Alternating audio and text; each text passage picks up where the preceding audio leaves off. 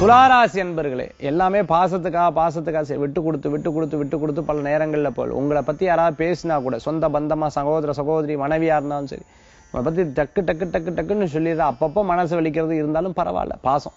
அப்படின்னு விட்டு கொடுத்து போகிறதுக்குண்டானதாக நிறையா இருந்துட்டு இருக்கும் சில நேரங்கள் நமக்கு ஆகாத விஷயத்தை குடும்பத்தில் இருக்க யாராவது சொல்லுவா குறிப்பாக திருமண விஷயத்தை பற்றி குழந்தைகள் சொல்லும் பொழுதோ அல்லது சகோதர சகோதரி சொல்லும்போது அப்போதைக்கு வழி இருந்துட்டு இருக்கும் நான் சொன்னா கேளு அப்படின்னு சொல்லுவோம். சொன்ன பேச்சை கேட்க மாட்டேன் கொஞ்ச நேரம் பேசி பேசி பேசி பேசி அதுக்கப்புறம் ஆமா நீங்க சொல்றதுதான் சரின்னு சொல்லுவோம். அந்த மாதிரி எல்லா காரியங்களும் நம்ம யோசிச்சு பார்ப்போம். நம்ம குடும்பத்துக்காக செலவு பண்ணலையே நேரம் குடும்பத்துக்காக நம்ம ஒதுக்கலையே அதனாலதான் இந்த பிரச்சனை வந்ததுன்னு புரிஞ்சுண்டு இனிமே நம்ம குடும்பத்துக்காக ஒதுக்கணும்னு சொல்லி குடும்பத்தை முதன்மையாக நிறுத்துறதுக்கு உண்டான நாளாக இன்ற தினம் உண்டு.